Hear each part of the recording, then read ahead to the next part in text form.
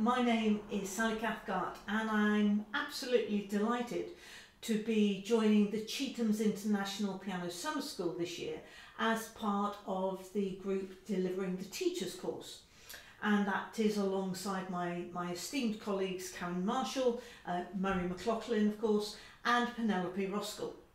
So I'm going to be delivering the second day which is all about elementary students. And we're going to be looking at four areas on that particular day. The first area I think is a really important one. It's about how to help your students develop secure reading skills.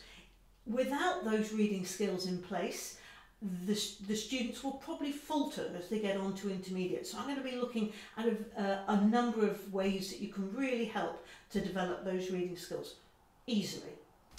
Then the second part we're going to look at is going to be addressing the matter of technical skills and that will cover things like posture and pedalling we're going to look at how to teach scales and a number of other things as well I'm sure.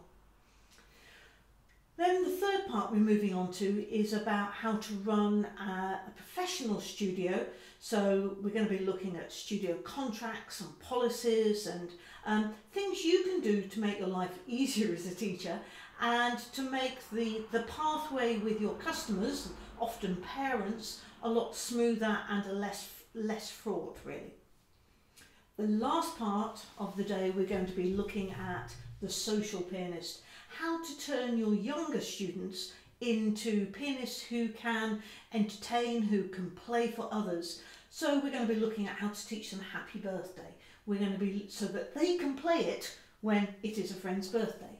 Um, how to read from a lead sheet, for example, and also how to improvise. So give them lots and lots of skills that is beyond just learning the repertoire. I think it's going to be an action-packed day. It'll be very, very interactive and there'll be lots of time for discussion and questions. I do hope you'll be able to join me in August. Hope to see you there. Bye.